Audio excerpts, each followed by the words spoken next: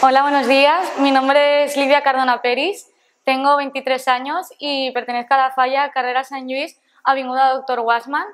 Me, me, dedico, bueno, soy maestra de educación infantil y primaria con especialidad en pedagogía terapéutica y actualmente lo que estoy haciendo es estudiar oposiciones y también colaboro con la Universidad de Valencia con el gabinete de, de logopedia para dar apoyo a las familias y poder ayudar a, a los niños pues en, en materias a lo mejor que les cueste más o hacer materiales adaptados, eh, bueno, en fin, para dar clases particulares con niños que a lo mejor tengan más dificultades.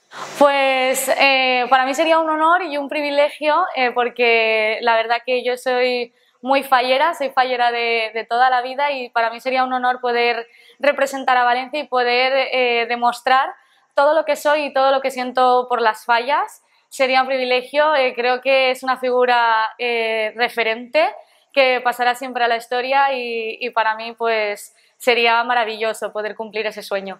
Pues mira, tiene que ser una persona empática, risueña, muy cercana, ya que va a estar todo el año eh, compartiendo vivencias siempre con su corte ¿no? y con la Fairama Infantil de Valencia y con la correspondiente Corte de Honor. También tiene que demostrar ese amor por Valencia y, la devoción por las fallas y, y cómo no, la cercanía con, con, el mundo en general. ¿no? Tiene que ser una persona que demuestre todos esos valores que, que han hecho de las fallas, esos valores humanos que han hecho que las fallas sean patrimonio inmaterial de la humanidad. Pues mira, yo soy muy partidaria de, de que la fiesta, igual que la sociedad en general, debe evolucionar y avanzar y como no las fallas pues tienen que adaptarse a los tiempos y a la realidad en que vivimos y entonces todos los cambios que se puedan hacer en relación con diversidad, con inclusión, con solidaridad, la verdad que, que me encantarían. Sería una apuesta por la que yo estaría súper orgullosa y pues un, un, ejemplo sería potenciar y dar más visibilidad a la, a la figura del presidente infantil. Pues soy una persona muy, muy risueña, muy positiva.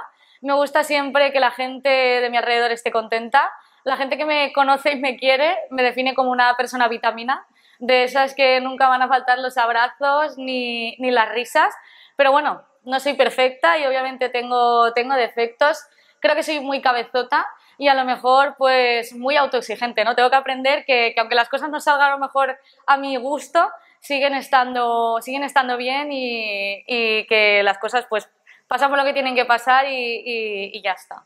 Aficiones, pues mira, me gusta mucho el deporte, sobre todo me gusta bailar, eh, también me gusta mucho el fútbol, soy muy futbolera, me gusta cocinar y una de mis grandes aficiones es conocer nuestra ciudad.